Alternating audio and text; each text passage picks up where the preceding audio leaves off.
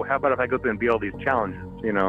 And I, so I just thought, well, you know, I, I don't know, I'll give you, you know, I'll, I'll give you 20 bucks for each of the challenges he beat, thinking he was going to beat one or two of them. I was like, yeah, he'll, he'll spend 30 minutes on this. You know, so I'll, I'll commit 20, you know, 20, 40, 60 dollars, whatever. He sat there and he did like a 12 hour marathon on that game. He was playing it nonstop. He was raging so hard in there. And he completed every single one of those challenges except for like the last one, I think. Yeah. That that boy made bank that day. He walked away with about three hundred dollars.